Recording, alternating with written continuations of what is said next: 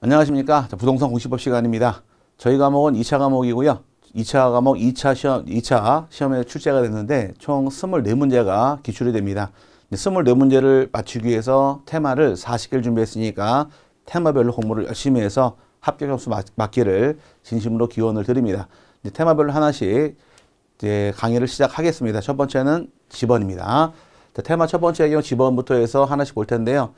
지번의 경우는 출제가 상당히 많은 출제가 됐습니다. 언제고 또 나올 부분이니까 공부를 잘해서 이제 실력을 올리실 부분이고요.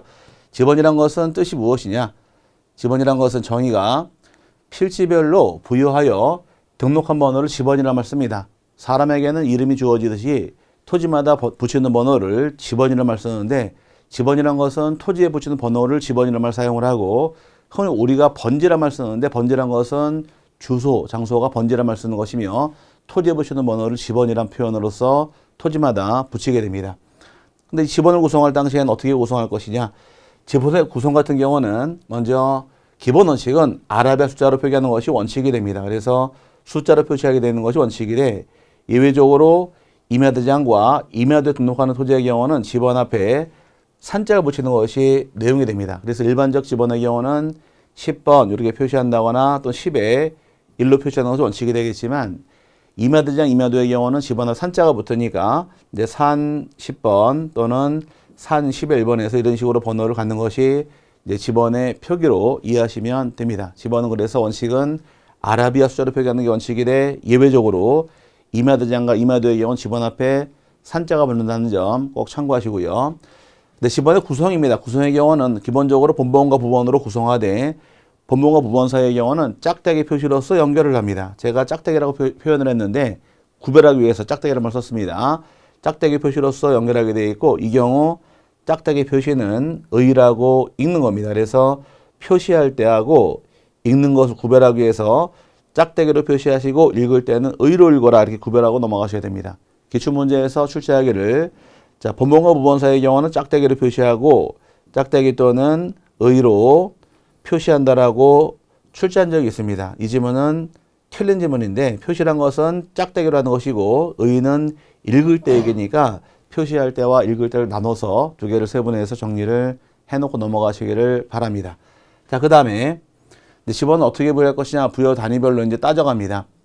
지번의 부여 기준은 자, 지적소관청에서 북서 기본법을 통해서 지번을 부여하는 것을 원칙으로 합니다. 그 지번의 경우는 우리나라는 북서 기본 원칙을 통해서 부여하다 보니까 순서가 북서에서 번호가 시작이 되어서 남동으로 진행하도록 지번을 부여하되 부여 기간은 지적 소관청에서 부여하며 단위는 지번 부여 지역별로 지번을 부여하도록 규정되어 있으니까 참고하시고요. 지번은 북서에서 남동으로 진행하도록 부여하는 것이 원칙이 됩니다.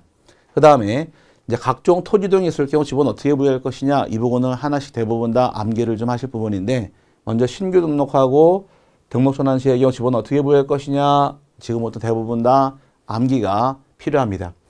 자 이제 원칙은 해당 지번 부여 지역 내 인접 토지 본번에 부번을 부여하는 것을 원칙으로 합니다. 줄여서 인접지 본번에 부번이라는 말 쓰는데 이 말 뜻은 이렇게 해서 서해안은 이만큼 매립한 토지가 있다 가정했을 경우에 이 땅을 신규 등록하는 경우에 지번 어떻게 부여할 것이냐 이 문제가 발생이 됩니다. 부여할 당시에는 이토지 시범 부여는 먼저 인접지를 찾아야 돼요. 인접한 토지가 어떤 게 있느냐 찾아봤더니 이렇게 세 필지가 있다 가정을 하고 지번이 5번이 있고 6번이 있고 7번이 있더라. 전부 다 본번으로 인접지가 세 필지가 존재하고 있을 경우에 이때는 가장 빠른 지번 5번이 기준이 되면서 5에 1로 부여하는 것이 원칙입니다. 그 5에 1을 부여했을 경우에 토지 위치를 파악할 수 있느냐 당연히 5회 1번이라는 것은 동일한 집원은 존재하지 않고 5번 토지 옆에 존재하고 있으니까 위치 파악 가능하므로 여기 원칙이 됩니다. 그래서 원칙은 인접한 토지 본번에 부번을 부여하는 것을 원칙으로 한다. 기본적으로 기억을 하셔야 되고요. 그 다음에 예외 규정의 경우는 다만 해당 지번 부여 지역의 최종 번번 다음 번호부터 순차적으로 본번으로 부여할 수 있는 재량사항이 세개가 나옵니다. 자, 여기는 부여 하이한다가 아니라 부여 할 수 있다 해서 예외가 세 가지 따라보는데 첫 번째 경우는 대상 토지가 해당 지번부여 지역 안에 최종 지번 토지와 인접해 있는 경우 그럼 최종 지번 토지와 인접해 있을 경우는 그 다음 지번 줄 수도 있다가 됩니다. 그럼 예를 들어서 이 지역이 쭉 지번이 뭐 요게 예를 들어 7번 돌아와서 여기가 제일 마지막 번호 700번이라는 최종 지번이 부여가 된 경우 그럼 이 지역의 제일 마지막 지번이 700번이라는 얘기입니다. 이럴 경우에 뭐 7번, 8번 계속 돌아가겠죠, 지번이. 돌아와서 맨 마지막 700번까지 왔다가 한번 가정해 보자고요. 이럴 경우에 이 토리 지번 부여를 어떻게 부여할 것이냐. 원칙은 5회 1번 준는 원칙이라고 설명을 드렸어요. 근데 예외적으로 최종 지번이 700번일 경우는 사용 안 한 번호가 701번을 사용 안 했으니까 이 땅은 701번 줄 수도 있도록 예외가 만들어집니다. 그러면 701번을 준 경우와 5회를 준 경우에 어떤 역할을 할 것이냐. 5회를 준 경우도 5번 옆에 위치하고 있다고 토지 위치 파악 가능합니다. 그럼 701번의 경우도 700번 옆에 있다고 위치 파악이 얼마든지 가능해요. 하지만 좋은 점은 어떤 게 좋은 것이냐. 표기가 훨씬 더 본번이 깨끗하니까 이런 상황이 발생했을 때에는 이렇게 본번만으로 부여할 수 있도록 재량 사항이 만들어진 겁니다. 첫 번째 예외 규정이고요. 자, 두 번째의 경우는 이 대상 토지가 이미 등록된 토지와 멀리 떨어져 있어서 이제 등록선 토지 본번에 부번을 무효하는 것이 불합리한 경우란 말이 나오는데 이런 경우는 어떻게 하시면 쉬워지느냐. 바닷가 한 가운데 조그만 섬 같은 경우가 발견이 됩니다. 등록되어 있지 않은 섬이 발견된 경우에 섬도 등록을 해줘야 돼요. 등록을 하는데 인접지가 멀리 떨어져서 부번이 불합리합니다. 이럴 때는 본번만 줄 수도 있도록 예외가 만들어졌고 세 번째는 대상 토지가 여러 필지로 가는 경우에도 본번만 부여할 수 있도록 예외가 만들어지므로 예외 세 가지는 기본적으로 암기를 하셔야 됩니다. 원칙은 인접지, 본번의 부번이 원칙이 돼 번번만으로 부여할 수 있는 예외 규정은 세 가지가 있더라. 하나가 최종 지번 토지와 인접한 경우, 두 번째가 거리상으로 멀리 떨어져 있어서 부번이 불합리한 경우, 세 번째 여러 필지의 경우도 번번만으로 부여할 수 있다는 예외가 발생하므로 이거 잘 정리해 세분하실 부분이고요. 자, 그 다음 볼 곳이 이제 분할입니다. 분할의 경우 시험 지문상 출제를 굉장히 많이 했는데 자, 분할하는 경우는 이제 하나의 필지를 둘 이상 나누게 됩니다. 이렇게 어떻게 부여할 것이냐 이 문제가 발생할 때 분할의 경우는 원칙은 분할 후 하나의 필지의 경우는 분할되기 전지번을 그대로 부여합니다. 하나의 필지는 분할되기 전지번 그대로 부여하게 되어 있고 하나를 지어 나머지 필지에 대해서 지번 부여할 때는 이때는 본번에 최종 부번 다음 순번으로 부번을 부여하는 것을 원칙으로 합니다. 그래서 여기는 외울 것이 최종 부번 다음 부번으로 외우고 넘어가시는 것이 요령이에요. 이 말 뜻은 자, 필지가 하나가 있다 가정합니다. 10번 토지에 있다 가정할 경우에 10번을 둘로 세분하게 되면 하나는 옛날 지번 그대로 줘야 되니까 10번 그대로 줍니다. 그대로 주고 이 토지가 부번 아직 사용 안 했으니까 나머지 토지는 10에 1로 가는 겁니다. 이렇게 부여하는 것이 원칙이에요. 또 10번을 또 분할하게 되면 반 또 쪼개게 되면 10번 옛날 지번 그대로 줄 것이고 이 안에서 제일 마지막 최종 부번이 몇 번이냐를 따져가는데 최종 부번은 10의 1, 1까지 썼으니까 그 다음 번호가 10의 2가 되어서 10의 2로 가는 것이고 또 분할 하게 되면 10의 3 이런 식으로 계속 가는 겁니다. 그래서 분할을 하게 되면 우리나라의 경우는 이제 본번은 건들지 않습니다. 본번은 그대로 가지고 가고 10의 1, 10의 2, 10의 3, 10의 4에서 부번을 잡고 주는 것을 표현상으로 최종 부번, 다음 부번이라고 부른 것이니까 요, 요 잘 파악하고 넘어가셔야 될 부분이고요. 좋은 점은 있습니다. 이렇게 부여해서 좋은 점이란 것은 세월이 아무리 흘러고 시간이 많이 흘렀다 할지라도 옛날 집원 10번은 끝까지 가져갑니다. 끝까지 가져가니까 10번 집원은 이 안에 어딘가 있다라고서 위치 파악은 굉장히 쉬워요. 하지만 나쁜 점은 10의 1, 10의 2, 10의 3 가다 보니까 분할 시점이 다른 경우는 부번이 이어지지 않는다라는 나쁜 점은 존재한다 할지라도 옛날 집은 10번은 끝까지 가져가니까 위치 파악은 가능하도록 좋은 장점이 만들어지는 것이 분할입니다. 근데 예외 규정은 이제 분할되는 필지에 주거, 사무실 등 건축물이 있는 필지에 대해서는 분할된 집안을 의무적으로 부여하도록 규정되어 있는데 이 말 뜻은 무엇이냐? 자, 분할할 경우에 필지에 주거와 사무실 등 건축물이 있을 경우에는 이 필지에다가 옛날 전 집안을 의무적으로 우선 부여하도록 의무화가 됩니다. 그럼 이제 우리나라 북서기본 원칙이다 보니까 금방 설명드릴 때 이렇게 10번을 둘로 쪼개게 되면 10과 10의 1로 이렇게 부여하는 것이 원칙이에요. 이렇게. 하지만 예외적으로 10번 땅을 분할을 하는데 10번 토지 안에 건물이 딱 자리 잡고 있습니다. 주택이 자리 잡고 있는데 10번을 딱 분할하게 되면 이 땅에다가 원칙은 이렇게 가는 게 원칙이지만 이제 건물이 있게 되면 이 땅에다가 옛날 집은 10번을 그대로 부여하게 돼 있고 여기는 11로 주라는 얘기입니다. 방이 거꾸로 가는 거예요. 그래서 이렇게 진행하도록 부여하도록 예외 규정이 만들어지는데 근데 주거와 사무실 등 건축물이 있는 필지에 대해서는 분할되기 전에 집원을 의무적으로 우선 부여하여야 한다 의무사항입니다. 이렇게 가는 이유가 있어요. 가는 이유는 여기다 10번을 주고 10회를 주는 게 원칙이지만 여기다 10번을 주게 되면 종준에 있던 토지하고 건축물에 대해서 대장과 등기부는 지번을 건들 필요가 없습니다. 그대로 가면 되기 때문에 오히려 더 업무 처리가 간소화가 되니까 이렇게 쓰도록 예외가 만들어지므로 분할의 경우는 시험에 굉장히 잘 나오니까 분할을 어떻게 부여하는가 이거 잘 파악해서 세 번을 하시고 넘어가시기를 바랍니다. 그 다음에 이제 합병이에요. 합병하는 경우는 이제 지번 어떻게 부여할 것이냐. 합병 대상 지번 중에서 가장 빠른 선순위 지번을 지번으로 부여하게 됩니다. 선순위의 개념이란 것은 크게 세 가지 사례가 있는데 예를 들어서 5번, 6번, 7번 토지 합병을 하더라. 경우 가장 빠른 지번은 5번이 지번이 되면서 6번 지번과 7번 지번은 없어집니다. 없어지는 지번을 결번이라고 불러요. 뭐라고요? 결번. 자, 결번이 발생한 경우 이 결번이라는 건 사용할 수 없는 게 원칙이다 보니까 결번 대장의 기재에서 영구히 보관하는 것이 보관상 차이점이고 어쨌든 지번은 선순위 지번이 지번으로서 부여가 됩니다. 근데 문제는 이제 또, 또 하나 사례가 예를 들어 요번 5에 1번이 있고 6에 1번이 있고 7에 1번이 있더라. 전부 다 부번이 합병되는 경우도 가장 빠른 지번 선순위 지번이 지번이어서 5에 1로 지번이 결정이 되면서 전부 다 결번이 돼버립니다. 그럼 반대로 이번에 따져보자고요. 요번에는 이제 5에 1번이 있고 6에 1번이 있고 11번하고 뭐 12번 정도 이렇게 네 필지 합병이 들어다 가정했을 경우에 이렇게 합병이 될 경우 어떤 빠, 지번이 빠른 것이냐 물어봤을 때에는 본번과 부번이 섞여 있습니다. 이때는 여기를 따라갑니다. 합병 전 지번 중에서 본번으로 된 지번이 있, 있는 때에는 본번 중 선순위 지번을 합병 후 지번으로 한다 해서 이것도 이제 그럼 이렇게 네 필지 합병할 경우에 부번은 없어지게 되어 있고 본번 중 빠른 본번 11번의 지번이 되면서 지번이 결정되는 것이 선순위의 모델이니까 이 세 가지 모델을 잘 파악해서 세분하시길 바랍니다. 그 다음에 예외 규정인데 예외 규정 같은 경우는 토지 소유자가 합병전 필지에 주거 사무실 등 건축물이 있어 그 건축물이 위치한 집안을 합병 집안으로 신청하는 때에는 이때는 그 집안을 의무적으로 부여해야 한다 해서 의무가 따라 나옵니다. 자, 주거 사무실이라는 것은 분할할 때 한 번 나오고 합병할 때 한 번 나오는데 분할할 때는 신청하지 않더라도 지적소관청에서 의무적으로 우선 부여가 들어갑니다. 근데 합병하는 경우는 의무적으로 부여하는 것은 의무상 똑같은 입장이 되겠지만 문제는 여기는 신청이란 말이 들어가 있어요. 토지 소유자 신청했을 때 부여하는 것이고 신청하지 않는 경우는 선순위가 돼버립니다. 여기 차이점인데 한번 틀려보자고요. 우리가 자 예를 들어서 5번, 6번, 7번 합병하더라. 지번이 몇 번이 될까요? 당연히 5번이 결정이 되겠죠. 선순위 지번이니까. 근데 문제는 5, 6, 7 합병을 하는데 7번 토지 안에 건축물이 자리 잡고 있습니다. 이럴 경우에 합병 후 지번이 몇 번이냐 물어보는 게 문제입니다.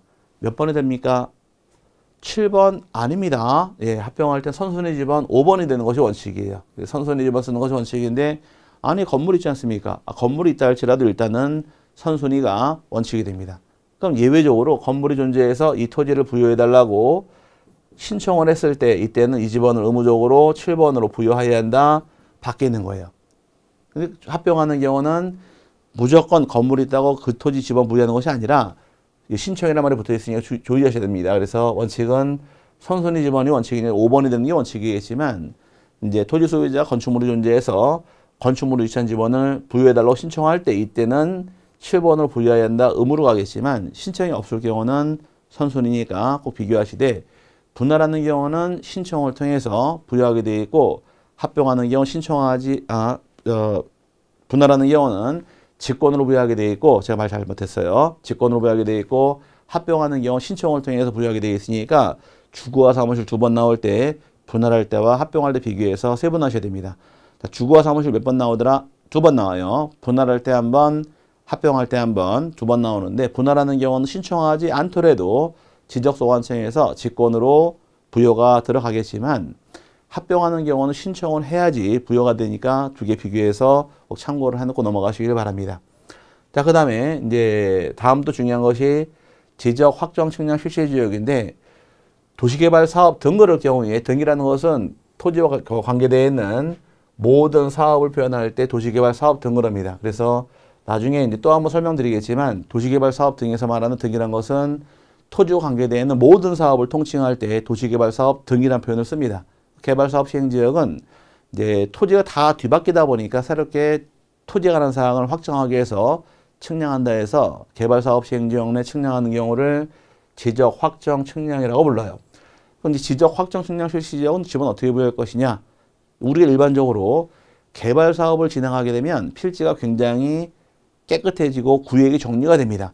그럼 토지가 깨끗해지는 만큼 집원도 깨끗하게 쓰겠다가 처음부터 끝날 때까지의 일관적인 모양새가 만들어지면서 집원을 부여하게 됩니다. 그럼 원칙부터 보게 되면 원칙은 종전 집원 중에서 본번만으로 부여하는 것을 원칙으로 인정합니다.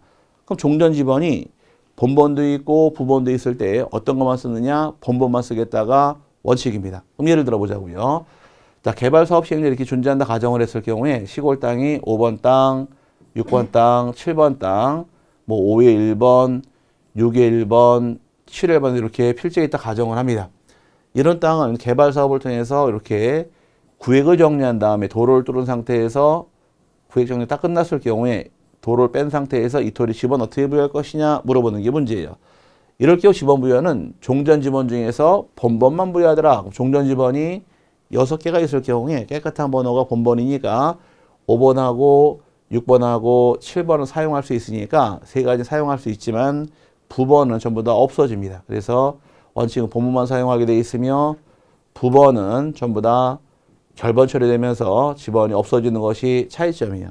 그럼 본번이 깨끗하니까 이렇게 쓰겠다는 것이 기본 원칙이 됩니다. 하지만 본번이라 할지라도 본번도 제외되는 본번이 이제 크게 두 가지가 존재합니다. 본번이지만 이 지번은 사용할 수 없도록 제외시키는데 첫 번째 경우 지적 확정 측량을 실시한 지역 안에 종준의 지번과 안에 그 다음에 지적 확정 측량을 실시한 지역 밖에 있는 본번이 같은 지번이 있을 때이 지번 사용할 수 없다가 됩니다.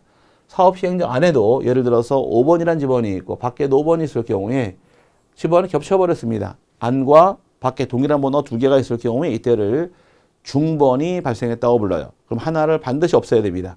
없어지는데 사업을 시행한 지역 밖에는 토지가 바뀐 게 아무것도 없으니까 그냥 그대로 쓰라고 놔둡니다.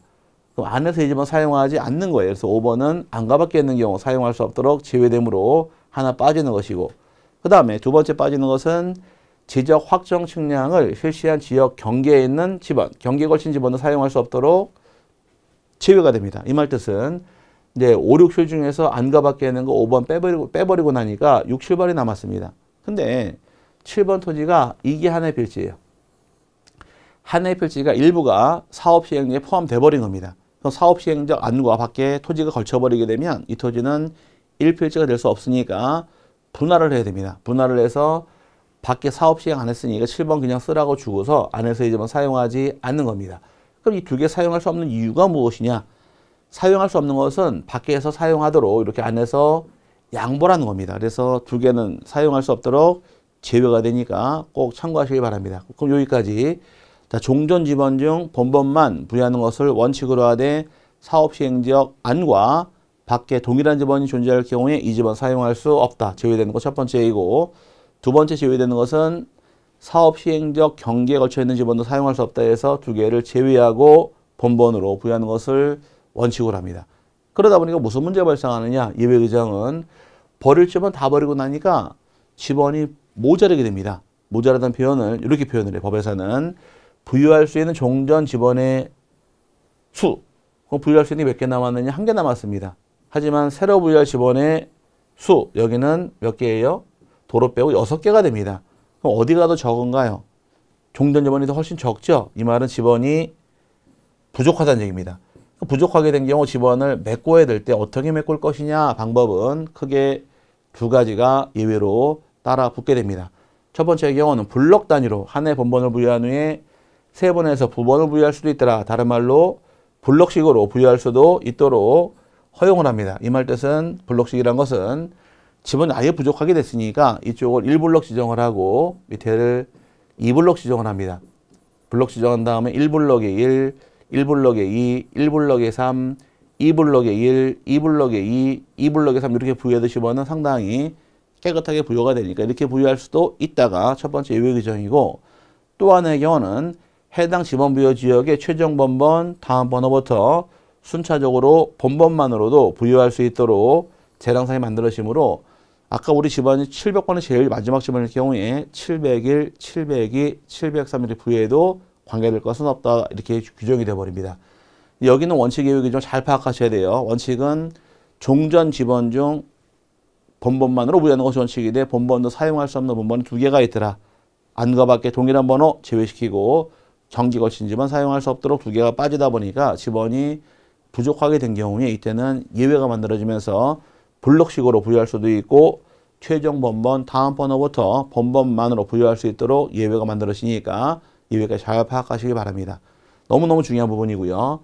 자, 그 다음에 또 볼 것이 이제 이 두 개가 끝났을 경우에 이 두 개 방법을 이제 준용을 통해서 지번을 똑같이 부여하는 경우가 세 가지가 만들어집니다. 준용 규정에 대해서 문제가 여러 번 출시했는데 자, 준용한다는 얘기는 같다는 얘기입니다. 이 지적 확정 측량 실시 지역이랑 똑같이 지번 부여하는 경우를 의미하는 것인데 자, 첫 번째 경우는 지번 부여 지역 안에 지번을 변경할 때가 있고 두 번째는 행정구역 개편을 통해서 지번 새롭게 부여하는 경우도 존재하고요. 그 다음에 축척을 변경할 당시에도 지번 부여할 때 이때 지번은 지적 확정 측량 실시 지역을 준용해서 지번을 부여하는 것을 이제 방법으로 취하는 것이 내용이다 보니까 너무너무 중요합니다. 이 부분이. 그래서 잘 정리를 하셔야 돼요.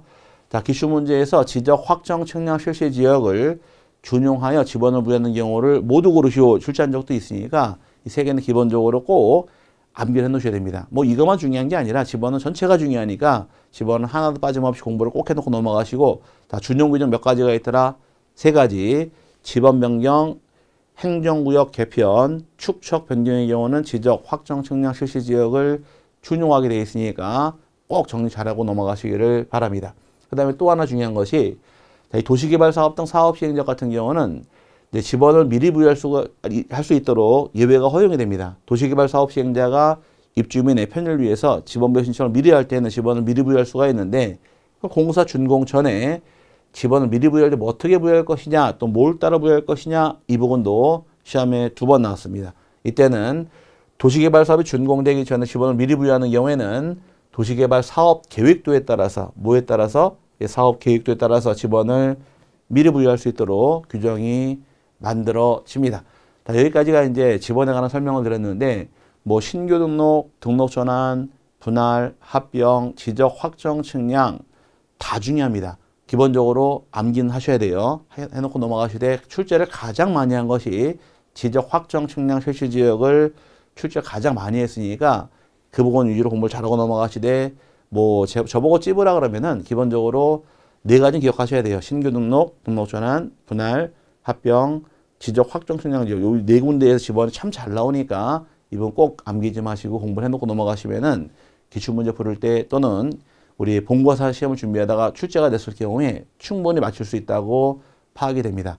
자, 그 다음에 이제 공부하시다 보게 되면 지번의 경우는 이제 우리가 교재를 구입하셔서 뭐 OX 문제가 쭉 나옵니다. OX 문제 같은 경우가 쭉 나오니까 OX 문제나 예상 문제까지 풀어보시게 되면은 문제 충분히 내용과 확인해서 정리할 수 있게 될 겁니다.